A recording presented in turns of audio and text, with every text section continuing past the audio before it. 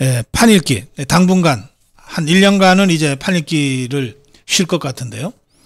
예, 마지막 판읽기가 되겠습니다. 이종근 실장 모시겠습니다. 네, 안녕하십니까 이종근입니다. 예. 저는 판이라는 말을 되게 좋아하는데 한 판 버리자 뭐 그러면 굉장히 뭐 가슴이 설레지 않습니까? 어, 2023년 가을부터는 싫든 좋든 한 판 다시 벌려야 됩니다. 그렇죠. 예. 어, 제대로 큰 판을 한번 또 예. 이렇게 그 벌리기 위해서 판을 잠시 뭐 접는 것으로 이해해 주셨으면 합니다. 어, 안보 문제부터 좀 말씀을 드리죠. 네. 자, 판을 진짜 읽고 싶었는데 한 며칠 판을 제대로 그 읽지 못하니까 박사님 판 읽기를 못 들으니까 도대체 판이 어떻게 돌아가는지를 알 수가 없었어요. 예. 보니까 이 흐름이 뭔가 의미가 있는 것 같아서요. 왜냐하면 이 서해 공무원 피격 어, 피살 피격 어, 사, 사건 이 사건이 그냥 단순히 어, 적폐 하나가 이렇게 발견됐다 이게 아닌 것 같거든요. 네. 여기서부터 굉장히 많은 것 많은 어, 상황들이 이제 벌어질 것 같은데 일단 민주당의 대응부터 한번 보죠. 이 민주당이 이걸 그대로 이렇게 겸허하게 받아들인 게 아니라 완전히 방어선을 치더라고요. 네. 계속 뭐, 뭐 문재인을 방어하든 뭐 어쨌든 이 방어 전략이 제대로 된 전략인가요? 이거 어, 표현이 잘못됐나 왜 그러시죠? 예, 이제 민주당 좌파들이 네, 그 문재인 죽이기다, 문재인 정부 아. 죽이기다 이렇게 지금 그 공격을 하고 있잖아요. 그렇죠. 반격을 하고 있잖아요. 네, 네, 네. 제 눈에는 저것들이 죽을 짓을 했어요. 아 이미 과거형 그 예. 죽을 짓을 이미 했고요. 네. 그다음에 어, 죽을 짓을 했으니까 죽어야지. 아 그게 그게 순리다. 예. 어. 근데 순리를 지금 거역하려고 하는 어, 그걸 자기들이 지금 아, 그 거역하고 한거하려고 하는 거죠. 음. 예. 그 두 사건이 모두 정말 천인공로할 그 범죄였다고 저는 생각합니다. 강제 북송 사건까지 네. 합쳐서 네. 예, 예. 우리 대한민국 공무원이 그 생명이 경각에 달려 있을 때 네네 그런데 이분이 아직 살아 있을 때 네네 문재인과 그 일당들이 이 사태를 알게 된 거 아니에요. 그렇죠. 근데 이 자들이 우리 대한민국 국민의 생명을 살리기 위해서 어떠한 행동도 하지 않았어요. 네. 어떠한 행동도 하지 않았어요. 네 그렇더만요. 그래서 이분이 결국 북한에 의해서 학살당하고 네. 시신이 훼손되기까지 했잖아요. 네. 그리고 난 다음에도 이 자들이 북한에 제대로 항의도 안 했어요. 네. 뿐만 아니라 이 사람 월북하려고 했던 사람이니까 사법 처리했어야 된다라고 하는 엉뚱한 프레임을 덮어 씌웠어요. 네. 그러다가 김정은이가 이게 국제사회가 워낙 그때 당시에 이, 이 정말 빗발치는 비난을 퍼부었거든요. 그렇죠. 그러니까 김정은이가 뭐 사과라는 단어를 한번 쓱 썼어요. 네. 그거를 가지고서 그냥 떠받들듯이 응? 어, 이 인권을 존중하는 김정은이 어쩌고 저쩌고 하면서 이렇게 된 거거든요. 그래서 어 뭐 지금 이 문재인 일당들이 그 대부분의 자료를 지금 이 대통령 기록물이라고 하는 판도라 상자에 집어넣어 버려 가지고 우리가 세세하게 확인할 수는 없지만 네. 지금까지 확인된 정황 네. 그다음에 해경과 국방부가 그 당시 발표하는 다른 발표를 이미 해- 했지 않습니까? 네. 네. 이런 것만 가지고 추론하더라도 네. 이 문재인과 그 일당들의 천인공로할 범죄가 저질러진 사건이다. 네. 이 서해 공무원 음, 학살 어, 시신훼손 사건은 그렇다. 그다음에 그 1년 전에 벌어진 네. 그 탈북 어부를 강제 송환 북송한 거 이거는 이미 지금 밝혀진 것만으로도 이 벗어날 수 없는 네. 이 범죄 행위를 저지른 것이 확실해요. 네. 이게 문재인이가 나는 최 최종적인 그 결재권자였다고 생각하거든요. 네. 어, 강제 북송시키는데 서훈이가 지가 했다고 그러지만 그거는 예, 그이 외교안보 사안에서 대통령의 최종 결정 없이 안보실장이 할 수 있는 일이 아닙니다. 아 그럼요. 네. 그래서 이 그 일도 어 이 두 사건 모두 문재인이가 최종 책임자인 그리고 문재인과 그 일당들이 저지른 천인공노할 범죄 의 행위다. 이렇게 저는 생각하는 거예요. 네. 그러니까 죽을 짓을 한 거지. 네. 그러니까 거기에 마땅한 처벌을 받아야죠. 네. 저는 이 사건 관련해서는 그냥 어, 진실규명으로 끝나는 게 아니라 진실규명 과정에서 드러나는 범죄 행위들이 확인될 거라고 보거든요. 네. 그러면 그 범죄 행위에 걸맞는 사법적 처리를 아주 엄정하게 해야 된다. 그래서 이게 정리가 돼야 된다. 그렇게 생각합니다. 네. 어, 사법적 처리까지 가려면 사실 많은 것들이 더 드러나야 될 텐데 예. 어, 두 번째 보니까 지금 현재 일하고 있는 늘공들 공무원들은 그때도 공무원이었잖아요. 네. 그러니까 그때 상황을 잘 알고 있잖아요. 잘 알고 있겠죠. 그리고 보니까 어, 이 부처들 지금 나온 부처 해당되는 부처를 따져보면 국방부 그 다음에 저 국방부와 그다음에 NSC 청와대 그다음에 해경 네. 어? 여기까지는 정보가 공유된 것 같아요. 네. 근데 대북 관련돼서 인도적인 어떤 차원에서 서로 채널을 갖고 있는 게 통일부 아닙니까? 네. 그 다음에 어 뭐 이 외교부도 당연히 대북 관계에 있어서 긴박한 상황을 알아야 되는데 네. 보니까 통일부, 외교부 전부 다 당시 상황을 몰랐다. 그러니까 두 번 다 두 사건 다. 아, 겁니다. 한 번은 정의영이가 안보실장일 때고 또 한 번은 서훈이가 안보실장일 네, 텐데 네. 두 사건 다 안보실이 주도했다는 거예요. 청와대 국가안보실이요. 예. NSC. 예. 그런 그런 그런데 이 안보실이라고 하는 것은 네. 아무리 그래 봤자 대통령 비서거든요. 그렇죠. 집행기관이 아니에요. 그렇죠. 이를테면 북송을 한다 그러면 네. 이거는 행위잖아요. 행정행위잖아. 네. 대통령 비서실이 무슨 권한으로 행정행위를 합니까? 그렇죠. 법적으로 안 되죠. 법적으로 규정이 안 되죠. 북송을 하려면 뭐 무슨 통일부가 한다든지 뭔가 이런 집행기관이 행정부서가 하는 거거든요. 네.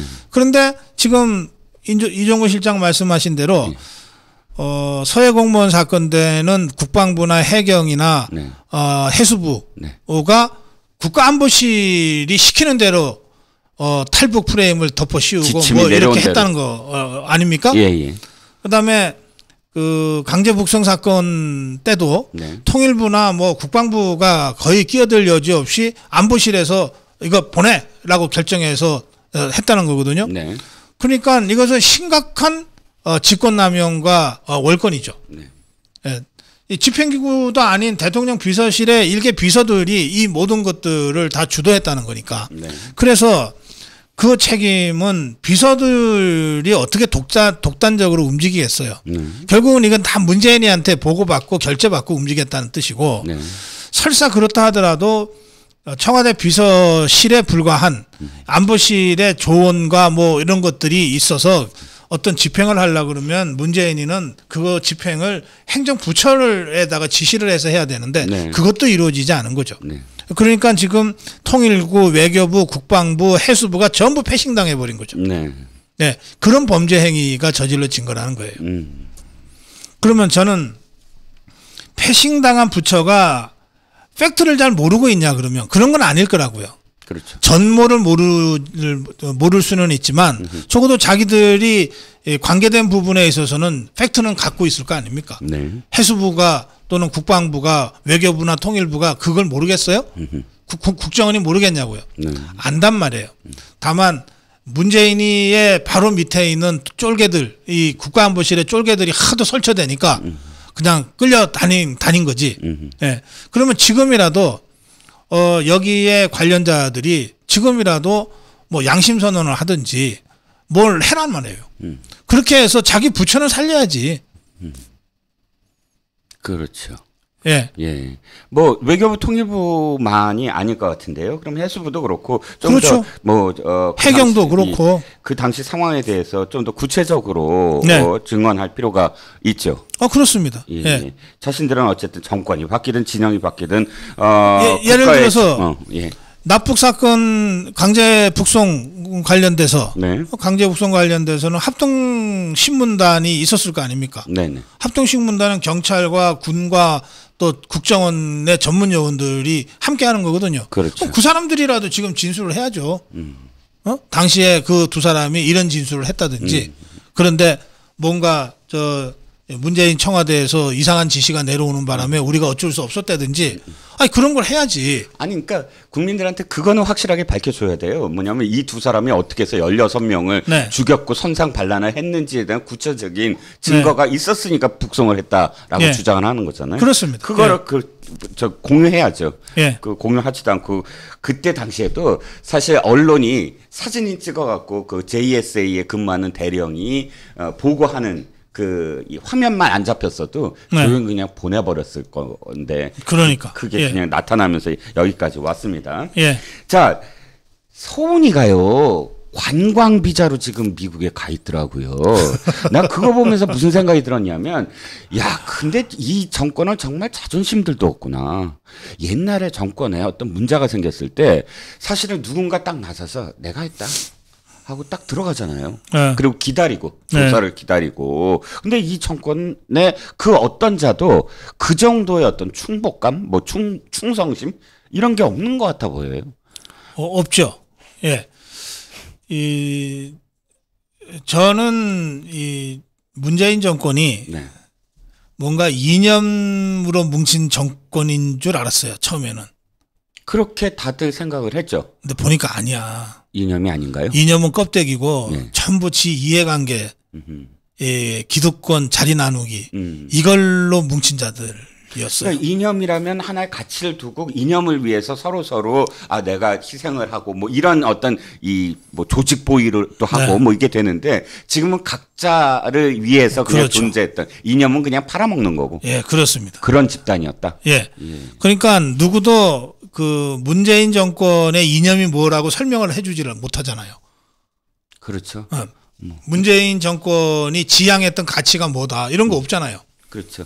그냥 인이죠. 뭐 인이 하고 싶은 대로 다 그렇지. 해야죠. 어. 인이 하고 싶은 대로야. 예. 그게 이념이죠. 그러니까 정의용이나 서훈이 정도 되면 음. 국가안보실장을 지내고 국정원장을 지내고 외교부 장관을 지내고 네. 얼마나 이게 핵심에서 노른 자들입니까? 그렇죠. 근데 이런 자들도 문재인이를 위해서 지가 담 일주일이라도 감옥에 갔다 와야 되겠다 이런 생각은 전혀 안 할 거다 이거예요. 음. 내가 왜 문재인이를 위해서 내가 희생을 해? 음. 그렇게 생각할 거라는 거예요. 그렇죠. 그러니까 다들 지금 자 지살길 찾아서 뿔뿔이 어디 다 흩어져 있는 거예요. 이 서훈이가 관광 비자로 갔다는데 보통 미국 갈 때는 그냥 가잖아요. 그렇죠. 어뭐저 무비자 협정이 맺어져 있기 예, 때문에 예. 그래서 비자 따로 내는 경우는 없단 말이에요. 예. 대개 3개월까지는 무비자로 예. 다니죠. 예. 그 이자가 그 별로 내- 내지도 않는 관광 비자를 가지고 나갔다는 거예요. 예. 그 관광 비자는 그 기한이 6개월이랍니다. 예. 그러면 꽤 긴 기간이죠. 예. 일단 관광 비자로 나간 다음에 음. 뭐 연구원 하려 그러면 또 무슨 제2완 비자인가로 바꿔야 되는데 예. 그거 바꿀 시간은 6개월이면 충분하다는 거예요. 음. 그렇게 해서 1차 급한 대로 J1 비자는 내는데 시간이 걸리니까 음. 뭐 인터뷰도 하고 그래야 음, 되니까. 음. 그러니까 우선 급한 대로 관광 비자, 관광 비자는 그냥 여행사에다가 돈 주면 나오는 거거든요. 네, 네. 우선 6개월짜리 관광 비자를 얻어서 급하게 도망간 것 같아요. 음. 그리고 거기서 뭐 연구원 어디 있- 있겠다 뭐 케네디 스쿨이라든지 뭐 이런 데 있잖아요. 네, 네. 거기 여기서 국정원장까지 지낸 자고 안보실장을 지낸 자면 미국 입장에서도 관리가 필요한 자니까. 네, 네. 그렇게 하면서 제휴한 비자로 바꿔 갖고서 이제 장기간 체류 사실상의 그 이 망명 도망 이런 거를 지금 기획하고 있는 것 아니냐. 갑자기 김영욱이 떠오르네요. 뭐, 그 그럴 수도 있어요. 그래서 이자가 그런데 이제 이 이분 살아서 어 나는 뭐 사실관계를 그 규명할 필요가 있다면 내가 뭐든지 하겠다 또 이러고 있어요. 그래서 제가 요구했죠. 빨리 들어와라 그러면. 그 뭐든지 하겠다는 게 이렇게 네. 말로 그 SNS에 글을 올려주겠다. 어. 내 살아 아직은 내가 내 존재가 있다. 아직 잠수 안, 잠수 타지 않았다. 어 그러니까 빨리 아, 들어와라. 네, 조사할 게 많다. 음. 네, 아 그렇죠, 그렇죠. 뭐든지 할 수 있다가 딱 그것만 하면 되는데 예. 그것만 빼고는 다 하겠다 이거 아닌가요? 그렇습니다. 어, 그런 것 같으네요. 어, 어쨌든 이 여러 가지 적폐들이 있겠죠. 이 적폐란 말 쓰고 싶지도 않지만 이 문재인 어, 정권이 저지른 수많은 그런 그 이 악행들이 있을 텐데 안보가 제일 먼저 지금 부각이 되고 있어요. 안- 그 이유가 무엇이며 이 다음에 이어질 어떤 적폐들이 어떤 과정들이 있을까요? 이 서해 공무원 그 학살 훼손 사건도 그렇고. 또 그 강제 북송 사건도 그렇고 음. 이거를 안보 문제로 접근하는 게 아니라 음. 그 인권의 문제로 접근하는 것이 맞다 싶어요. 네. 헌법을 제대로 지키지 않았다. 헌법을 수호하지 않았다.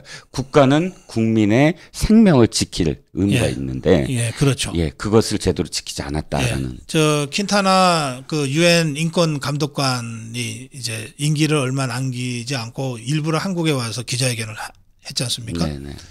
그것도 이 두 사건의 본질은 어, 국 제적 보편 가치인 인권의 문제가 핵심이다라고 하는 것을 부각시키기 위한 기자회견인 것 같아요. 네. 네, 그렇죠. 그러니까 이 문재인 좌파 정권은 대한민국 국민의 인권을 유린한 정권인 거예요. 네. 이건 용서할 수 없는 범죄죠. 음. 그리고 이 인권을 유린한 범죄는 공소시효가 없어요. 음. 네, 이건 전쟁 범죄와 똑같이 네. 취급되는 것이거든요. 이게 대북 안보 정책의 무슨 뭐, 뭐 차원의 뭐 접근이라면 음. 이건 정책적 접근이잖아요. 네. 그거는 문재인이한테 책임을 묻기가 어렵죠. 네. 그런 문제가 아니라는 거예요. 음. 이 사건의 본질은 그 강제 북송된 두 사람이 지금 죽었는지 살았는지도 지금 확인되지 않지만 음. 살아 있다 하더라도 엄청난 고통을 받았을 것이고 완전히 인권 유린 당했을 것이 분명하다. 음. 네. 네. 또 아마 북측 북측에 인도되자마자 총살 당했을 가능성이 네. 더 많다. 뭐 이렇게들 보는 거 아닙니까? 네. 네. 그러니까 이 두 사람의 대한민국 국민이 일단 어그 귀순 의사를 밝혔잖아요. 그럼 대한민국 정부가 보호해야 될 대한민국 국민이었던 거예요. 이 두 사람을 문재인 좌파 정권이 먼저 북쪽에다가 넘겨줄까요? 해서 넘겨준 거 아닙니까? 네. 이거는 어, 그냥 죽으라고 던져준 거랑 똑같은 네. 거예요. 예. 그리고 해수부 공무원의 학살 사건은 뭐 전 세계가 아는 이 만행이고 네. 그 만행에 결과적으로 이 문재인 좌파 정권이 부역한 거란 말이에요. 네. 그러니까 이것은 반인권 범죄 행위인 거죠. 어, 그렇기 때문에 어, 용서할 수 없다는 겁니다. 그리고 국제사회가 그래서 이 두 사건을 관심 있게 보고 있다는 거죠. 네. 그 성격을 분명히 해야 된다고 생각합니다. 그렇습니다. 자, 이제 정치 문제로 좀 넘어가 보죠. 예. 민주당부터 볼까요? 어, 뭐 이재명 뭐 당대표 성, 당대표에 뛰어드는 건 너무 너무 당연한 건데. 어, 현재 뭐 이 민주당의 그 이 판이 이렇게 보면 어, 뭐 압도적인 것 같아요. 뭐 어찌됐든 지지율이라든지 이런 네. 걸 보면 30 몇 프로가 이재명 나오고 네. 홍영표가 뭐 10 몇 프로도 안 나오고 뭐 나머지는 3몇 프로인데 자, 이 지금 홍영표든 뭐든 다 불출마 선언만 이어지지 제대로 이 상대할 그런 자들이 안 보입니다. 그럼 그냥 이 상태로 이재명 무조건 가는 건가요? 아니면 뭔가 대진표가 제대로 그래도 좀 이어질까요? 에이, 그냥 추대식이지. 그러게 말이야. 왜 해? 이, 이 선거 치를 이유도 없잖아요. 추대면 되겠네. 제가 이제 이 이재명 건을 보면서 네. 어, 아 우리 자유파가 아직도 좌파가 어떤 세력인지를 잘 모르는구나. 음. 라고 제가 느꼈어요. 오. 왜냐하면 뭐냐면 네. 그 6일 지방선거 전에 네. 어 이재명이가 개항을 해 출마할 거다. 네, 네, 네. 뭐 그런 얘기들은 되게 다, 다 예측들을 네, 했어요. 네, 네. 어, 근데 그때 예측은 되게 감옥에 안 가려고 방탄조끼를 어, 국회의원 배지라는 방탄조끼를 예, 예, 빨리 예. 입어야 되니까 예, 예. 그 정도의 예, 분석이었다고요. 예. 그러니까 어 저는 그- 그런 수준이 아니다. 음, 음, 이, 이거는 이재명의 대권 전략이 가동된 거다. 음, 음, 그냥 국회의원 배지 하나 다는 걸로 끝나지 않는다. 음. 어, 바로 당권 도전할 거고 음. 당권을 잡고 어, 윤석열과 1대1 맞서면서. 맞짱 맞짱 음, 대결 구도를 어, 만드는 방식으로 해서 어, 앞으로 5년 내내 윤석열 정부를 괴롭히면서 대권 행보를 할 거다. 저는 이제 그렇게 분석을 했는데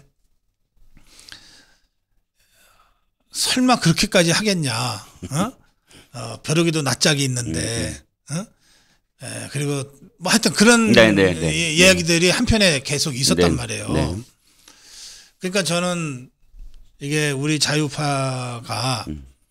예, 좌파가 얼마나 지독한지 음. 예, 또 이재명이라는 자가 이게 얼마나 그 이 그 집착이 강하고 음, 음.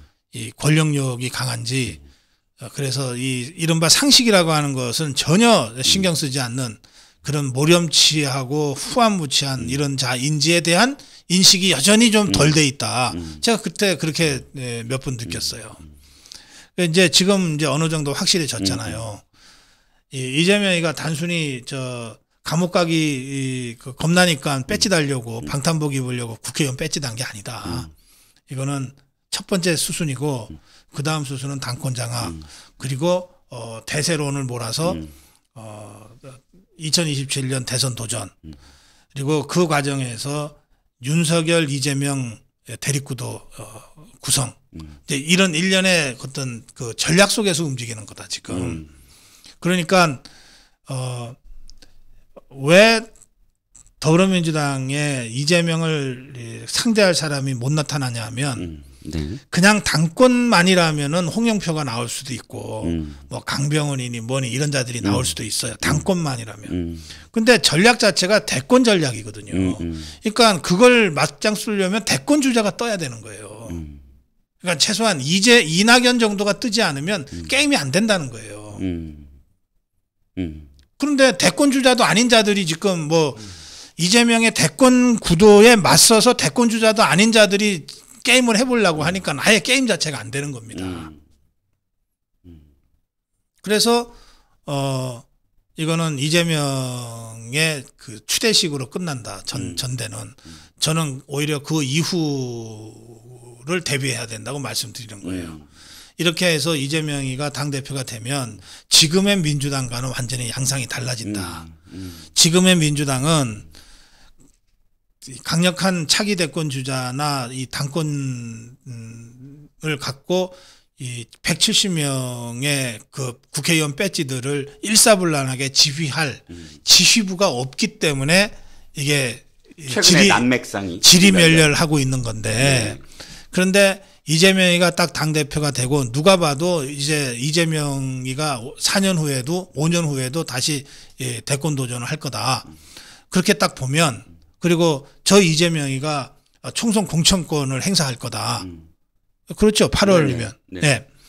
그렇게 보면 170명의 좌파 배지들이 일사불란하게 이재명의 지휘에 따라서 움직이게 되는 거예요. 네. 그러면 배지 하나하나가 갖는 힘이 엄청나잖아요. 네, 네. 이것이 170명이라는 압도적 다수파를 형성하면서 이것들이 일사불란하게 움직이기 시작하면 진짜 윤석열 정부나 국민의힘이 어, 상당한 그 코너에 몰릴 수가 있거든요.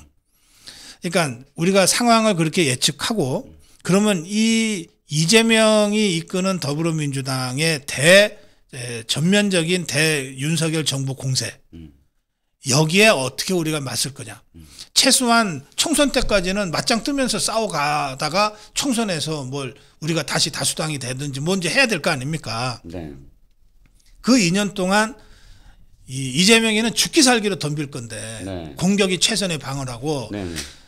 네. 대장동, 백현동, 성남 FC 또는 뭐 법인카드 각종 의혹을 경찰이나 검찰이 수사를 할 때 이것에 대한 가장 효과적인 방법이 대정부 투쟁 전선 구축 아닙니까?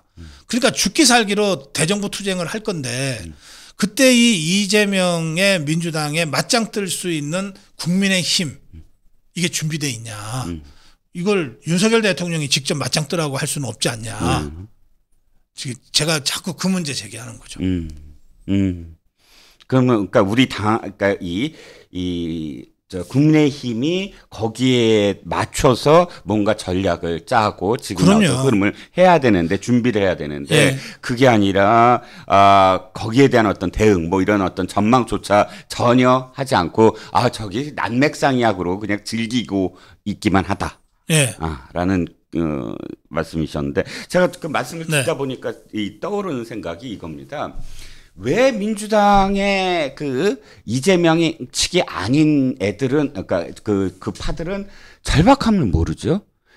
뭐냐면 이재명이 당권을 잡으면 일단 죽여야 되는 사람들이 있거든요. 제가 보기에는 옛날에 전해철류의 어떤 함께에 그 부딪혔던 사람들이나 뭐 운동권 뭐 일부나 이렇게 해갖고 어쨌든 공천에서 학살이 일어날 텐데 분명히 아. 자기 사람들로 또딱이 아, 채워넣으려고 그거 그거 있잖아요. 예 예. 어, 이재명이가 네. 이게 그 이념이나 가치 지향성이 있는 자가 아니에요. 아니에요. 예. 그렇죠? 예, 예. 전혀 그런 거 오로지 그 현실 권력 정치, 예, 패도 예. 정치로 일관되게 움직이는 자거든요. 예, 예. 그러니까 이재명이가 당권을 잡는 순간 전해철이든 홍영표든 뭐 친문이든 뭐든 간에 다 이재명한테 고개 숙이고 줄을 서게 될 거예요. 그러면 이재명이가 지 밑에 고개 숙이고 줄 서는 자들을 굳이 쳐내지 않아요. 음. 예를 들어서 부평의 홍영표를 음. 쳐내고 이재명 똘마니를 심는다고 하면 그 선거에 이길 수 있어요? 아 일단 선거에는 이겨야 되니까. 그렇죠. 음. 그러니까 음, 음, 홍영표가 끝까지 이재명하고 맞짱을 뜨겠다 그러면 치겠지만 음. 적당한 선에서 뭐 아이 그래 좋다 아, 네가 대장해 음. 하고 고개를 딱 숙이는 순간 굳이 치지 않는다고요. 음, 이 홍영표가 고개 숙인 거예요. 음. 두 번째 질문. 예. 그러면 그 대권을 5년 동안 그렇게 앞으로 어, 4년 동안 그렇게 흔들 것이다. 예. 라는 거를 민주당의 차기 대권 주자들이 안다면 그 차기 대권 주자가 누구예요? 뭐 누구 누군가 아니 어? 이를테면 이낙연 아니 웃으시겠지만 박영선 또 웃으시겠지만 추미애 이런 그 ETC들이 아니 차기 대권 다- 주자라고 다- 다 생각해야 웃기잖아. 되잖아. 아, 딱 웃기잖아. 아, 그 이 당에 그럼 차기 대권 주자가 없는? 아예? 이재명이 말고는 없죠 지금은. 와. 아, 보세요. 근데 이게 음, 음. 이상한 게 아닌 것이 예. 문재인이가 그렇게 했잖아요. 문재인이가 음. 2012년 대선에 지고 나서. 그리고 나서 유일한 대권 주자로 2017년까지 예, 당 대표 하고 어, 간 거예요. 그렇죠. 당 그렇죠? 대표 하다가 이제 또 또, 그 전에 추미애한테 넘겨주고. 박근혜 대통령이 2007년에 이명박한테 졌지만 예. 음흠. 5년 내내 유일한 대권 주자로 왔잖아요. 그랬죠. 예. 어. 그러니까 이게 유력한 차기 대권 주자가 있으면 그러면 그 사람이 그냥 4년 5년이고 쭉 당을 이끌어 가는 거예요. 지난번에 윤석열이 등장하기 전에 음. 예, 국민의힘은 그런 유력한 주자가 하나도 없었어요. 그렇죠. 하나도 없었어요. 그러니까 윤석열의 등장으로 윤석열이 그 주, 어, 그 역할을 쫙 하게 된 거 아니에요. 그러니까 지금은, 어, 이재명은 2012년부터 17년 사이에 문재인 또는 2007년부터 12년 사이에 박근혜 이 모델인 거예요. 음. 그리고 그 모델이 현실적으로 성공 승률이 높아요. 그러니까 이재명 그렇게 가는 거죠. 근데 여기에 말씀하신 대로 어 이낙연이다, 추미애다, 박영선이다, 뭐 김부겸이다, 뭐 뭐다 뭐다 뭐다 다 갖다 대도 다 웃기잖아. 사람들이 웃고 말잖아요. 그러니까 그게 지금 이 재명이의 힘인 거예요. 우리가 이재명이를 정말 사악한 인간으로 생각하고 경계하지만 예? 현실적으로 그자가 갖고 있는 이 정치적 힘 이걸 우리가 자꾸 주관적으로 무시해서는 안 돼요. 아, 그렇죠. 예. 1600만 표의 표를 모은 자라고. 그 대- 영화 대부에서도 적을 미워하지 마라. 미워하면 냉정하게 분석할 수 없다. 아, 그렇지. 뭐 이런 표현이 예. 있지만. 아니 근데 꿍얼거리는 거 하나만 한 번만 더 꿍얼거리 꿍얼거리게. 도대체 말이야. 3%도 안 되고 2%도 안 되지만 자기가 진짜 꿈이 있다면 나서갖고 내가 뭐다라고 부딪혀 나가야. 이재명이 그렇게 했잖아요. 성남시장 시절부터. 뭐 지지율이 있었어요? 뭐가 있었어요? 그렇게 해서 지금까지 온 것처럼 아니 민주당이라는 그런 지금 진짜 당 꼬라지가 저렇게 됐지만 암만 그래도 민주당이라는 당에서 어씨 맞서 보겠다 하고 나 나도 대통령감이다 하고 나서는 인간이 이렇게 없단 말이에요 참. 그 좌파들이 네. 그런 면에서 우리 자유우파보다 역동성이 떨어져요. 그래도 옛날엔 저쪽이 훨씬 더 시끄러운 정당 아니에요? 역동성이 써 있었던? 그건 당권 때는 그런데 예, 예. 대권으로 가면 달라집니다. 음. 그러니까 김대중 때는 아무도 김대중과 경선하려고 안 했잖아요. 어, 예. 그때 뭐 보수 정치가 워낙에 또 예. 강했고. 그러니까 이제 예. 김상현 정도가 한번 이제 부딪혀 보다가 예, 이제 예. 찌그러지고 예, 그랬잖아요. 예, 이민우 뭐, 뭐, 기타 등등 있었죠. 네. 예. 그러니까 또 문재인 때는 누구도 문재인하고 정면으로 부딪히려고 안 했잖아요. 아, 정말 그랬죠. 희한했죠. 부딪혔는데 다 죽어버렸잖아. 그렇죠. 깨갱했죠. 예? 다, 다 감옥 가거나 뭐. 어, 안희정이 감옥 가거나 뭐 했네. 뭐 이재명이만 간신히 살아남은 거지. 그렇죠. 예. 응? 그러니까 우리 자유파는 그러지는 않거든요. 음. 이를테면 어, 이명박과 박근혜가 정말 치열하게 싸웠지만 그래서 이명박이 대통령이 됐지만 박근혜가 죽지는 않잖아요. 음. 그렇게 해서 다음 대통령이 되는 네. 거 아닙니까? 네. 그러니까 그런 식으로 이제 자유파는 이 경선은 그 치열하지만 게임으로 보는 거예요. 네. 근데 저 좌파 저것들은 종파 투쟁의 역사가 있어요. 음, 음. 상대를 확실히 죽여버려. 음, 음. 그러니까 감히 덤비질 못해. 음. 그러니까 지금 이낙연이는 거의 지금 들어설 자리가 없을 거예요. 음. 이재명이가 당권을 잡으면 끝났죠. 이낙연이는 아예 못 들어오게 될 거라고요. 그리고 이낙연 세력은 하나하나 포섭될 거예요. 응? 그 다음에 감히 뭐 출사표를 던질 자들도 없어요. 그냥 뭐 97그룹이라고 하는 것들 있잖아요. 음, 뭐 박용진이다 누구다. 음, 그런 거는 이재명의 입장에서도 아무도 도전을 안 해주면 음. 곤란하니까 오히려 은근히 야 너 도전 좀 해봐 음. 이럴 수는 있어요. 음. 그 정도의 허용된 반대 정도지 음. 진짜 한판 붙자 그러면은 죽는다고요. 음. 이게 좌파 정치의 음. 본질이에요. 그러니까 그걸 우리가 잘 알아야 되는 거죠. 어느 정도 제가 그 그림이 그려지긴 하는데 그래도 궁금한 게 하나 더 있습니다. 네. 이 정당은 정말로 어, 늘 쪼개지고 합쳐지고 쪼개지고 합쳐지고의 역사자 역사였어요. 네. 본, 음, 보면 네. 뭐당 대표 임기가 6개월도 안 됐던 뭐 28번이 뭐 몇 년 내에 바뀌고 또 당 이름도 맨날 통합이라는 이름이 들어가는데 보니까 통합이 워낙 안 되니까 네. 그게 꿈이었잖아요. 통합이. 근데 이 이 참 희한하게 5년 동안 같은 정당 이름을 가진 것도 이 역사의 처음이고 더불어민주당이라는. 네. 어 근데 이번 그런 지금 쭉 말씀 들어보면 이번에 그럼 또 당이 이렇게 쪼개질 가능성 또 없는 건가요? 없죠. 이를테면 이게 호남이라 호남 기반 정치 그게 있잖아요. 뭐또 운동권 정치 하면서 호남이 이번에 적게 나온 거를 갖고 흔들려고 하는 흐름이 분명히 존재했었는데 당의 분열은 네. 김대중이가 새 당을 만들 때나 가능했어요. 음흠. 또 노무현이가 열린우리당을 만들 때 음. 대통령 된 다음에. 네네. 네, 노무현이가 대통령이 돼서 만들어 는데도 사실은 후폭풍이 있게 컸잖아요. 그렇죠. 네? 그렇지만 어쨌든 만들어낼 수 예, 있었어. 예, 예. 대통령이라는 힘이 있었으니까. 예, 예. 문재인이만 해도 그 힘이 없어요. 음. 그러니까 당을 새로 못 만드는 거야. 음. 예, 있는 당 이렇게, 이렇게 음, 추스려 음. 가는 거예요.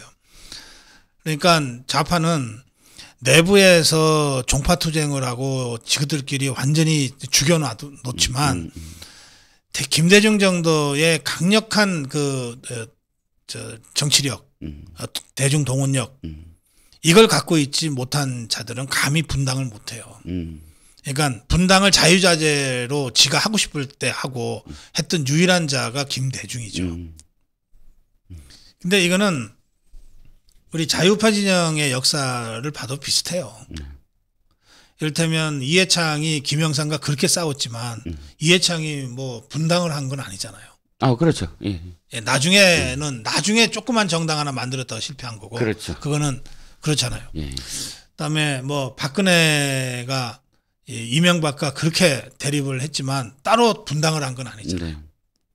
그리고 박근혜가 한번 따로 탈당했던 적은 있어요. 네. 했지만 바로 들어와 당 만들었었죠. 예, 뭐긴 그렇죠. 이름에. 예. 예. 그렇지만 바로 들어오잖아요. 예. 예. 그러니까 우리 자유파 진영은 특히 음. 그런 의미에서 이 분당을 해서 성공한 경험이 하나도 없어요. 음, 심지어 이수성의 국민당까지도 실패했잖아요. 그러네요. 예. 네. 그러니까 충청 기반으로 한 정당이 하나 있긴 보수 당으로서 있긴 있었지만 그게 주류는 예, 아니었죠. 그건 주류가 아니었죠. 예, 예. 그러니까 그리고 그것도 팽당했다는 동정표 때문에 일시적으로 음, 어, 생존이 가능했지. 에, 그러지 음. 않았으면 그것도 힘들었을 거예요. 그러니까 에, 여야를 통틀어서 또 이제 보수 진보를 통, 통틀어서 어, 지가 만들고 싶을 때 함부로 아무 때나 당 새로 만들어서 분당하고 뭐 하고 할 수 있었던 자는 어, 김대중이밖에 없어요.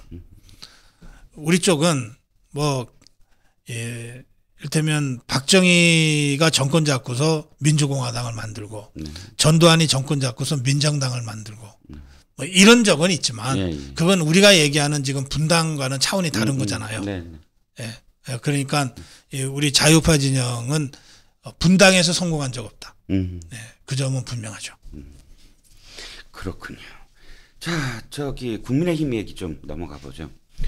오늘 어, 국민의힘에서는 가장 따끈따끈한 이야기부터 좀 해야 되겠네요. 박성민, 이준석의 비서실장이 네. 전격 사퇴했습니다. 네. 뭐 이게 무슨 의미일까요? 어, 이 박성민이 윤석열 대통령과 아주 깊은 인연이 있는 사람이라는 거는 이제 울산 지역에서는 꽤 알려져 있어요. 음, 음. 그러니까 아마 윤석열 대통령이 좀 어렵게 해서 여러 군데 좀 이렇게 네, 네. 떠돌 때, 어, 예, 떠돌 때 예. 그걸 그걸 뭐라 그러지 한직에 네, 예, 네. 밀려나서 뭐 대구, 자천됐을 예. 때 대구 가고 때. 울산지청에도 좀 갔었던 것 같은데 음, 네. 그때 이 박성민이 구청장을 하면서 네. 그러니까 이제 그 같은 그 지방의 그 기관장인 거죠. 네, 네. 어, 그렇게 해서 맺어진 인연이라 그래요. 네. 그리고 그러니까 어려울 때 만났으니까 좀 각별하겠죠. 네. 어, 술도 많이 했을 거고 음, 같이. 예, 그래서 그 이 박성민 의원이 초선이지만 네. 예, 윤석열 대통령과 아주 그 깊은 음흠. 인연이 있고 어, 저 커뮤니케이션이 잘 되는 정치인 중에 한 사람이다. 이렇게 돼 있었어요. 네, 네. 그러니까 이제 이런 사람을 비서실장으로 어, 쓴 거 아니에요. 음. 이준석이. 예. 네. 그런데 이 사람이 석 달 만에 에이 하고 스스로 그만둬 버리는 거잖아요. 네. 그러니까 이거는 어, 이준석 너, 그- 넌 아니야 음. 라고 하는 거죠. 이준석 너는 아니야. 더군다나 시점 좀 묘합니다. 일주일 네. 7월 7일 뭐 윤리위에 더군다나 비서실장이라면 어려 아 이게 무슨 이준석을 좋아한다 나쁜 뭐 싫어한다 이런 거 말고 그러니까 그냥 비서 당 대표의 비서실장이라면 당 대표가 그런 상황이라면 더욱 더 옆에 있어줘야 있어주는 게 뭐 의리 이런 게 아니고 있어야 되는 거 아닌가요? 근데 그 시점에서 어떤 이유든 사표를 한다는 건 아, 내 같이 못 그러니까 있겠다라는 이 박성민 입장에서는 음. 아마 윤석열 대통령이냐 이준석이냐 아. 이, 이런 식의 고민이 있었을 거예요. 더군다나 최근에 그런 쓸데없는 어, 뭐 공방전을 계속 아, 벌여, 그러니까. 벌였고요. 그런 일들이. 계속 있으니까 또 이를테면 장재원과 싸우고 뭐 누구랑 싸우고 음. 이 윤핵관들과 싸우고 하니까 박성민의 입장에서는 이거 계속 내가 이준석과 함께 가야 돼? 음. 이런 고민이 없지 않아 있, 있었지 않겠습니까? 음, 음, 그, 그 결단이라고 봅니다. 이게 정치인인데 음, 아, 이런저런 것 없이 그냥 막 행동하는 사람이 아니잖아요. 음, 이런 정무적 전략적 판단을 했다고 보는 거죠. 음, 그래서 어, 이준석은 더 이상은 안 돼. 음, 이런 정치적 의미를 담은 전격적 사퇴 발표다. 음, 그렇기 때문에 저는 아 이준석 이제 끝났네. 음, 라고 저는 해석하는 겁니다. 음. 저 별로 저 유쾌하지 않으시겠지만 예. 왜냐하면 이준석 같은 사람의 뭐, 네. 뭐 의중을 뭐 굳이 따, 따져야 되는 질문을 좀 해야 돼서 네. 이자, 이자, 이 사람이 지금 그 어제 밤인가 이 사표 이후에 아마도 그 SNS에 이렇게 썼더라고요. 이게 뭔 네. 의미인지 조금 해석 좀 부탁드릴게요. 뭐 복잡하게 생각하나 모두 달리면 되지. 그들이 감당할 수 없는 방향으로. 무슨 무슨 말인가요 이게? 뭐 모르겠는데. 그러실 것 같았어요. 이게 뭐 그러면 그 독해할 수 있는 사람의 언어가 아닌가요? 이준석이 지금보다 훨씬 어렸을 때, 예. 그러니까 스무 살 중반에, 음. 네. 20대 중반, 네, 네. 그 박근혜 비대위원장에 의해서 영입돼서 비대위원을 할 때, 그래 그래 예, 예. 예. 2000한 그- 시 그때부터 제가 방송, 육 제가? 진행하는 방송에 가끔 불렀어요. 예, 예. 어, 박근혜 대통령이 어쨌든 영입한 박근혜 퀴즈니까 예, 예. 예, 저도 관심 갖고 불렀어요. 그리고 또 고성고 TV를 시작 했던 4년, 5년 전에 또 제가 한 두 번 부른 적이 있어요. 음. 예. 근데 그때는 이 정도까지는 아니었어요. 음. 뭔가 혼자 옹얼옹얼 하는데 뭐잘 못 알아듣겠더라고요. 이게 발음이 빠르고 말이 아, 말이 좀 빨라요. 말이 굉장히 빠르고 또 지 세가 지 세계 속에 들어가 있어가지고 뭘 옹얼옹얼옹얼 하는데 그 맥락이 잘 이게 이해가 안 되는 대목들이 가끔 있지만 그래도 이 정도까지는 아니었어요. 음, 음. 완전히 지 혼자 언어잖아 이거. 아, 독해를 하는 데 있어서 일단 어, 보통은 가, 같은 공간에서 이렇게 얘기해야 되는데 자기 공간에서만 네. 옹얼거리는 그런 네. 어, 네. 언어를 해석을 그래서- 한다는 그래서 거. 이런 말은 굳이 해석해 줄 필요가 없어요. 음, 그냥 지 혼자 또 혼- 혼자서 또 옹얼옹얼 하고 있는 거니까. 음. 그럼 뭐하러 해석을 합니까? 음. 그 독해가 불가능해서요. 네. 모두라는 말, 그들이라는 말, 그 그들이 누군지 모두는 또 누구를 향해서 가- 함께 달리자라는 건지 뭐 잘 이해가 안 갑니다. 어쨌든 통과 그럼 예. 통과 통과하기로 하고요. 예. 아, 국힘 얘기하고 있었죠. 어, 개파 모임 여쭤보게 나 이준석 얘기 그만하고 네. 개파 나는 그- 저는 근데 개인적으로 먼저 제 의견부터 전제로 한다면 예. 개파라는 게 그렇게 나쁜 건가요? 아니 저는 다 정당이 있다면 예를 들어서 새로운 세력이 지금 집권을 했잖아요. 네. 그러니까 이 윤석열이라는 사람이 여기에 수십 년간 있어 본 사람도 아니고 갑자기 외부에서 가- 데려다가 어쨌든 대통령 시켰어요. 그러면 당내에서 어쨌든 뒷받침도 돼야 되고 뭐 해서 주류 비주류 이렇게 주류화되고 이런 어 각이 세워지고 하는 건 너무 당연한 거 아닌가요? 아 개파는요. 네. 개파의 리더가 있을 때 성립이 가능한 거예요. 그 어, 파벌이라는 것 자체가 어쨌든 예. 리더가 있어야 되죠. 파벌의 보스가 있을 때 파벌이 성립 가능한 예, 예, 거예요. 예. 그럼 파벌의 보스가 있다는 뜻은 뭐냐? 네. 예, 조폭 세계에서 보스는 그 조폭 세계를 다 제패하기 위한 목적이 있잖아요. 목적이 뚜렷하죠. 네, 그렇잖아요. 예, 예. 그러면 정치판의 보스는 뭐냐? 예. 지가 대통령 되는 목적이 있어야 돼요. 그렇죠. 그래야 아, 권력욕 그- 그래갖고 그렇잖아요. 그 권력에 어쨌든 가치지향적이든 아니든 예. 함께 하는 거죠. 그 음. 개파 모임에 들어가는 사람도 아, 이 개파의 보스를 대통령으로 만들면 나는 장관은 할 수 있을 것 같아. 음. 뭐 이런 희망을 갖고 정치를 하는 거 아닙니까? 네, 네. 그렇죠. 네. 그러니까 개파를 하려면 개보 정치, 음. 개파 정치를 하려면 어, 되든 안 되든 음. 분명한 대권 주자를 그 개파의 수장으로 모시고 뭔가 모여야 되는 거예요. 음. 그래야 이게 제대로 된 개파 정치야. 음. 그래야 그 개파의 입장에서 자기 개파 수장을 대통령으로 만들기 위해서 당권은 누가 맡는 게 좋겠다. 음. 뭐, 뭐 이런 전략이 나올 거 아닙니까? 전략적 포지셔닝이 딱 그렇게 해서 그려지죠. 자기들이 이, 이번에 우리 원내대표는 이 사람을 우리는 낸다. 음. 당대표는 이 사람을 낸다. 음. 뭐 이런 게 비로소 가능해지는 네, 거예요. 네, 네. 그럼 지금 언론에서 얘기하는 개파라고 하는 개파 모임이라고 하는 거 있잖아요. 네, 네. 이게 그러면 대권 주자를 보스로 모시고 있는 조직입니까? 아니죠. 아니잖아요. 예, 예, 예. 아니 무슨 김기현이가 조직 만든다 그러는데 김기현이가 무슨 대권 주자입니까? 뭐 장재원이 주도하는 뭐 민들레 이제 그만뒀지만 네. 예전에 민들레 그게 무슨 대권 주자가 있습니까? 아 장재원이 대통령 후보 나간답니까? 아니잖아요. 네. 현재는. 네네. 그러니까 이건 개파도 아닌 거예요. 음. 그럼 개파도 아니면 뭐냐? 음. 개파면은 차라리 나은데 음. 그건 뭘 하겠다는 것이 분명하니까 음. 음. 또 누구를 중심으로 움직인다는 것이 분명하니까 음. 차라리 나은데 음. 그것도 아니면서 모이는 거 아니에요. 음. 그러면 그야말로 집 밖으로 챙기는 이 이익 집단들이 되는 거죠. 음. 근데 예, 집권당 뭐 야당이든 제- 정 음, 음, 여당이든 음, 음, 상관없는데 음. 정당에서 헌법기관들이 열대 명이건 삼, 사십 명이건 모이면 음. 이게 어떻게 집 앞그릇 찾기 위해서 모이는 수준이 돼야 됩니까? 뭔가 그거보다는 한 단계 좀 나아야 되잖아요. 뭔가 가치를 중심으로 모인다든지 음. 또는 하다못해 당권파, 비당권파로 모인다든지 음. 최소한 그 정도는 돼야 되잖아요. 그렇죠. 그 그것도 아니란 말이에요 지금. 음. 음. 그것도 아니면서 자꾸 모임이 만들어지니까 사람들이 보기에 짜증이 나는 거예요. 음. 아, 하려면 제대로 해. 너네 너네 그룹의 대권 주자가 도대체 누구야? 음. 아 그런 것도 없으면서 무슨 개파야 개파는 음. 그냥 윤석열 정부 성공을 위해서 열심히 일하면 되지 음. 이렇게 보는 거죠. 음. 음.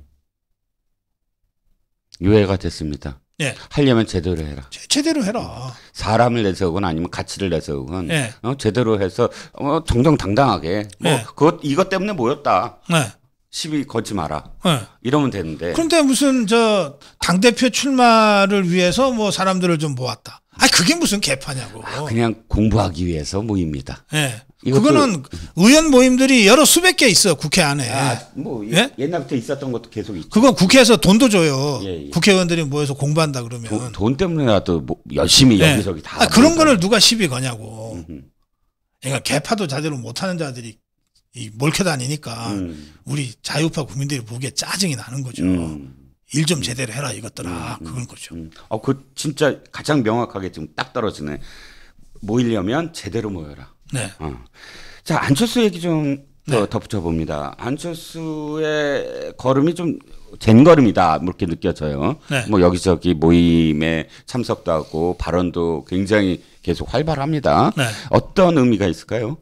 최근 발언 중에서 2016년 선거를 거론한 거는 아주 잘못된 발언이에요. 음, 어떤 내용이었죠? 어, 왜 이준석이랑 그렇게 사이가 안 좋냐 하니까. 아, 아, 아 니 뭐 그때 선거 때 선거 뭐 때도. 표차가 20%나 나고 뭐. 근데 그게 그저 약간 이준석 수준의 그 아니, 그렇지. 맞대응이지. 뭘 그런 말을 해. 아, 구원이 뭐냐? 아이 그 자기는 짐지 저 이준석 정도 따위하고는 자기가 뭐 말도 안 섞는다고 하면서 왜 그런 소리를 하냐고. 이, 이거지. 에이 진 사람이 무슨 꽁얼거려? 내가 이겼거든 그 선거에서 네. 이 얘기잖아요. 예. 에이. 그러니까 바로 이준석이한테 보기 좋게 한 방 먹잖아요. 2016년에서 살아라. 아 실제로 그렇잖아요. 그러니까 이게 보면 말이야. 같은 수준으로 놀라 그러면 안 되지. 맞아. 아니 자기는 같은 수준으로 놀려고 안 했어. 근데 말을 같은 수준으로 놀아버린 거야. 음. 오케이. 예, 아직 소팅이 좀 덜 됐죠. 네네. 아이, 뭐, 그 저 보좌관들이 왜 그 수준이 그 모양인지 모르겠어요. 그러게요. 뭐 보좌관 말 잘 안 듣는지도 모르겠죠. 예, 예. 하여튼 하이. 지금 그 안철수 후보 어떤 의원의 이젠 행보도 음. 보면은 저는 이렇게 아까 제가 논평을 그렇게 했습니다만 네. 이게 정치인은 대의명분이 생명보다 중요한 겁니다. 음. 그럼 안철수의 대의명분이 뭐냐? 음흠. 안철수의 대의 명분은 2022년 음. 3월 3일 3월 3일 윤석열 후보와 안철수 후보의 후보 단일화 대국민 약속에 있는 거예요. 음. 그게 가장 최근에 안철수와 윤석열이 국민들한테 약속한 거예요. 네. 그 약속이 뭐냐? 정부를 공동으로 구성하고 정부를 공동으로 운영하고 국민의힘과 국민의당은 합당하고 합당을 통해서 외연을 확장시켜 나간다. 그리고 어, 윤석열 정부의 예, 그힘 있는 국정 운영을 뒷받침한다. 이거란 말이에요. 그러면 안철수가 인수위원장 나 총리는 고사한다고 하면서 인수위원장을 맡은 것도 이것을 하기 위해서였거든요. 네. 그러니까 잘했든 못했든 이 대의명분에 어, 복무하는 사람. 그러니까 다소 좀 아쉽거나 실수가 있어도 이 대의명분이 워낙 분명하고 훌륭하니까 다 이렇게 해소가 되는 거예요. 네. 그러면 최근에 젠거름 음. 이것도 이 대의명분에 맞춰서 해야지. 음. 대의명분에 맞춰서. 음, 정치인은 뭘 하든지 간에 어쨌든 자기의 그 대의 명분이 우선돼야 된다. 거기에 맞춰서 행보를 그렇죠. 해야 된다. 예. 예. 그렇게 읽혀져야 된다. 윤석열 정부를 성공시키기 위해서 그리고 합당을 통해서 어 우리 자유파 어, 정당의 외연을 확대하기 위해서 음.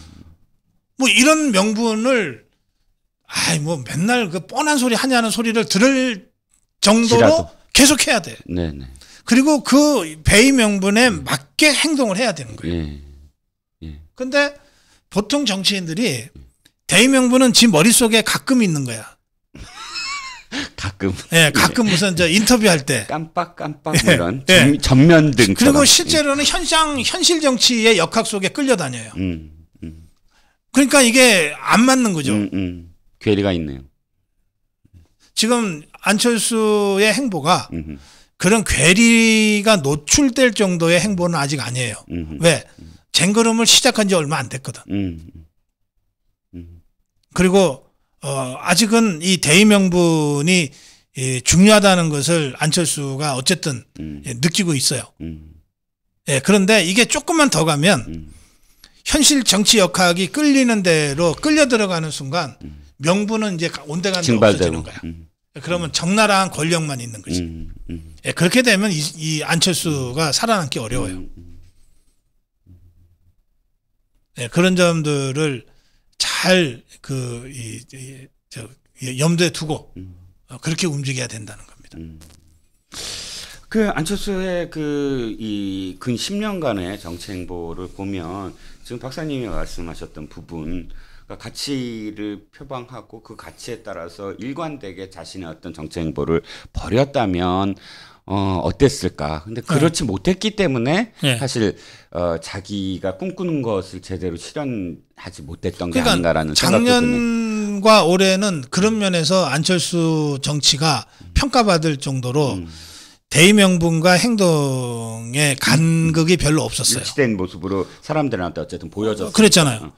정권이 심판을 하기 위해서는 서울시장 선거가 중요하다. 음. 그래서 내가 대권 도전을 포기하고라도 서울시장에 도전하겠다. 음. 그리고 도전했잖아. 그래서 전, 지니까 열심히 또 오세훈 선거를 해줬잖아요. 그러니까 이건 이 사람이 내세운 대의명분과 행동이 일치한 거예요. 음. 또 어, 대선 때도 어쨌든 정권 교체, 정권 심판을 위해서 나왔다. 음.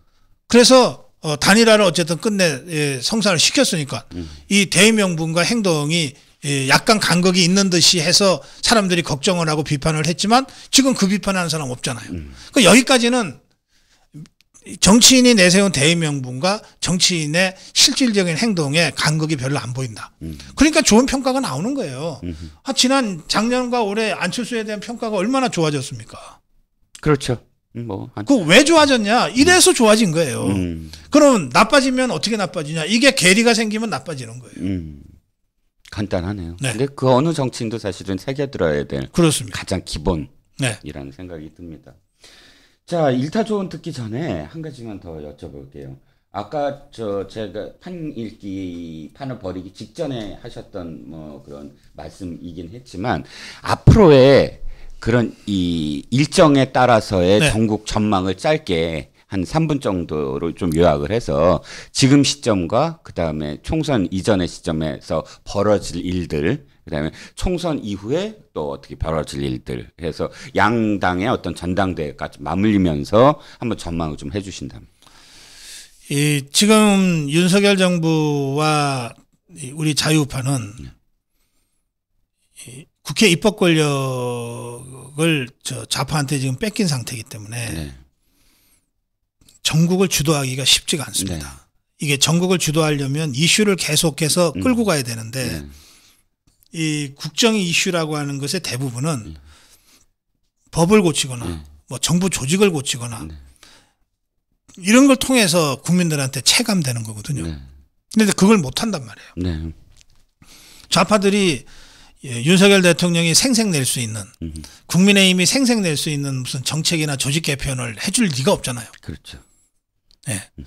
그러니까 전국 주도권은 지금 좌파들이 지리멸렬에 있기 때문에 전국 주도권이 윤석열 대통령한테 지금 와 있지만 음, 보이지만 저쪽이 전당대회를 통해서 정비를 하면 전국 주도권을 절대 이 윤석열 대통령이나 우리 자유우파 쪽에다가 넘겨주지 않으려고 할 거예요. 네. 그러면서 바로 드라이브에 들어갈 겁니다. 그 공격은 이 일테면 뭐 김건희 여사에 대한 공격으로 집중적으로 나올 수도 있고 사실 공격을 열대까지를 한꺼번에 한다고 해서 꼭 좋은 효과적인 공격이 아니에요. 지난번 선거들을 보시면 내가 네, 또딱 공격들이 한두 개. 어, 공격들이 뭐 너무 잡다 했어요. 예. 그러니까 딱 한두 개 노리고 공격해 들어오는 거거든요. 그 저는 어, 좌파들이 제일 쉽게 생각할 공격 이슈는 김건희 여사 관련 공격일 거다. 예. 그렇게 생각해요. 예. 그러면 제가 역으로 과연 대통령실이나 국민의힘은 이 이재명의 좌파가 김건희 여사를 공격해 들어올 때이 방어할 수 있는 준비가 지금 되어 있는가? 음. 제가 이렇게 물어보는 거예요. 되어 있는가? 되어 있다면 오케이. 그러면 저쪽의 공격을 받아치게 하면 되니까. 근데 만약에 그 대응하는 이 대응이 제대로 준비가 안 돼 있다 그러면 그럼 당하는 거예요. 그런 식으로 우리 쪽의 약한 고리가 어디에 있는가 음. 이거를 지금 잘 살펴봐야 됩니다. 음. 이준석도 이번에 처리 못하면 공격 대상이 됩니다. 저쪽은 최강욱이 같은 자 6개월 당원권 정지하잖아요. 그러면서 야 너네는 성상납 받은 대표도 못 치지 이러면서 칠 거 아닙니까? 굉장히 아픈 공격을 우리가 받게 돼 있어요. 그래서 어 아까 제가 간략하게 말씀드렸습니다만 이재명이는 당 대표가 되는 순간 자기가 감옥에 가지 않기 위해서라도 또 5년 후 대통령이 되기 위해서라도 끊임없이 윤석열 대통령을 공격하고 윤석열 정부를 공격하고 윤석열 대 이재명 대결 구도를 만들려고 할 거다. 그러면 우리는 그 좌파들의 움직임을 예측하면서 음. 이재명을 상대할 국민의힘의 이 대응 태세를 지금 빨리 갖춰야 된다. 음. 그것의 전제가 이준석 처리다. 음. 이준석이 대표로 있는 동안에는 그게 불가능하단 말이에요. 음. 그러니까 7월 7일 날 어떻게든 당원권 정지 몇 달이라도 내려서 당원권 정지는 몇 달이나 몇 년이냐가 중요한 게 아니고 당원권 정지 자체 그 당원 정지가 되는 그 순간 대표직에서 쫓겨나는 거니까 네. 그렇게 하고 비대위 체제로 가든지 조기전대로 가든지 해서 당 지도부를 다시 정비해야 된다. 아주 터프한 지도부를 구축해야 된다. 저쪽이 이재명이 아니라 이낙연이가 대표가 되거나 김부겸이가 되거나 했으면 굳이 우리도 터프한 지도부가 필요 없을지 몰라요. 근데 저쪽은 죽기 살기로 덤벼들 이재명이가 대, 대표가 될 가능성이 매우 높기 때문에 그러면 저런 이재명과 맞짱을 뜨려면 우리는 이재명보다 더 터프한 사람이 서야 되는 거예요. 터프가 안 보여서 걱정이긴 한데 터프가 안 보여서 아니 그제 눈에는 있어요. 아 예. 예. 예. 예. 예, 있어요. 이 터프한 사람들이 전면에 서서 이재명과 맞짱 떠줘야 돼. 음. 그래야 윤석열 대통령이 이 정략적 이전 투구에 끌려 들어오지 않고 음. 국정 운영의 프로그램을 가지고 안정적으로 이걸 해나갈 수가 있다고요. 음. 그러니까 집권당은 그 이 미식 축구로 예를 들면 예? 집권당은요 이 쿼터백으로부터 그 볼을 받아가지고서 터치를 하는 러닝백인가요? 그런 러닝백이 아니에요. 음. 그거는 대통령이 하면 돼. 음. 음. 집권당은 뭘 해야 되냐면 저쪽에 우리 커터백을 공격하러 저쪽에 그 공격수들이 들어올 때 그 자들하고 맞짱 떠서 그 앞에 쫙 서서 예, 아, 쫙 쓰러져. 는 그게 집권당의 역할이에요. 그렇지. 예. 예. 그, 그거를 해내는 거야, 집권당은 음, 음. 일 1차적으로. 음. 음.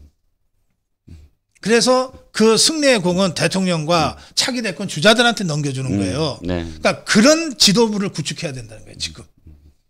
그러려면 우선 이 사람이 자기 정치 욕심이 없어야 돼. 음. 나는 그냥 이재명만 잡으면 돼. 음. 라고 자기 마음 비우고 할 수 있는 사람들이 있어야 돼. 음. 근데 지 정치 욕심만 버리면 그 정도 터프함은 다 갖고 있다고요. 음. 아, 그래도 국회의원 배지 달고 몇 년씩 정치판에서 왔다 갔다 한 사람들이면 자기 정치 욕심만 내려놓으면 이재명이 정도 상대하는 게 어렵지가 않다고요. 음. 아, 그런 식으로 지도부 교체를 해서 정비를 하고 있어야 되는 거예요. 음. 그리고 이재명은 우리가 맡을 테니 윤석열 대통령과 정부는 국정 운영에 전념하십시오. 음. 이렇게 해줘야 된다는 거야. 그게 집권당이지. 네. 음. 알겠습니다. 아, 자, 마지막 그 일타 조언이 되겠네요.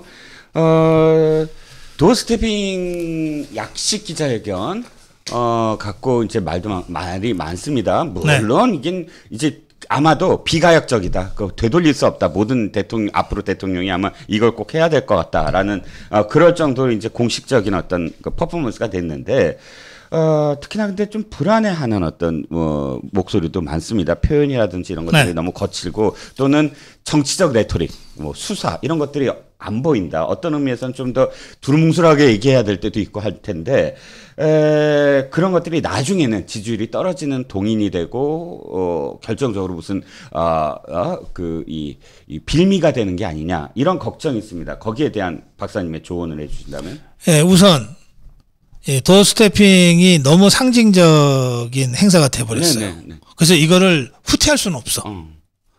예, 이걸 음. 후퇴하면 어 훨씬 그 실이 커져요. 아 그렇죠. 하다 만에 뭐 이렇게 예, 되겠죠. 예. 그, 그 변명하기도 참 어려워. 네, 예. 예, 그래서 도어 스태핑은 계속 돼야 돼요. 네, 그걸 전제로 네. 횟수는 줄이자. 음, 음. 지금은 거의 뭐 출근하는 족족 도어스태핑을 하는 듯이 돼버렸거든. 즐기시는 것 같아요. 뭐 예, 신나- 그 신나더라고요. 즐기면 자제해야죠. 그러게. 예. 예, 그 재미 붙이면 안 돼요. 예. 예, 그러신 것 같아요. 그 저는 뭐 일주일에 두 번 음, 음, 음, 또는 한번 음, 정도로 줄이는 게 좋다. 음. 그러니까 정례적으로 doorstepping 하는 거, 일이 있건 없건 doorstepping 하는 건 일주일에 한 번. 음, 그 다음에 이거는 꼭 국민들한테 내가 좀 전하고 싶다고 하는 메시지는 음. 많아도 일주일에 한 번. 음, 해서 두 번. 그러니까 어떤 때는 한 번. 그런 메시지가 없을 때는 그냥 정례 doorstepping 한 번. 음. 메시지가 있으면은 그거 포함해서 두 번 정도면 된다. 아니 어느 정도는 좀 희소성이 있어야지. 홍보 수석은 뭐 해? 대변인은 뭐 하는 거야? 뭐 이렇게까지. 어, 희소성이 있어야 뉴스 가치가 올라가는 거예요. 그렇죠. 아침마다 기다리면 뉴스를 던져주는 대통령이다 그러면 그 기자들이 예? 그 뉴스를 그렇게 높게 평가 안 합니다. 예. 현재, 현재 까지는 말진들이 되게 좋대요. 발제 안 해도 아침에 쓸 거리가 있다고. 자, 그래서 횟수를 그렇게 우선 줄이자. 예, 예. 그다음에 두 번째는 횟수를 줄이다 보면 음.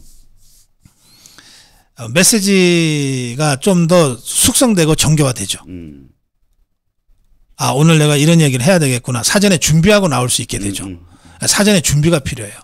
그렇다고 A4 들고 나오라는 얘기는 아닙니다. 예, 돈 스태핑 하는데 A4 들고 나오면 진짜 모양 빠져요. 그렇죠. 예.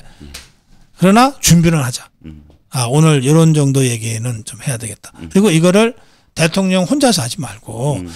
이런 걸 하라는 게 비서실이에요. 대통령실.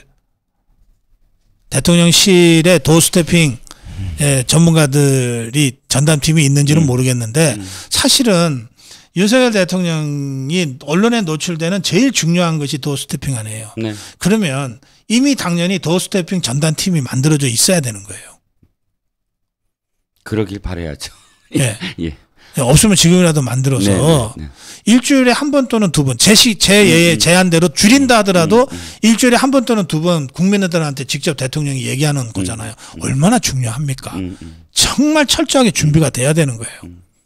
루스벨트의 어, 노변 정담도 일주일에 한 번이었죠. 예, 일주일에 라디오. 한번 했어요. 예. 그것도 라디오. 라디오로. 그리고 질문 응답도 아니에요. 음, 음. 자, 그냥 자기가 그냥 하는 연설하는 거야. 음, 음.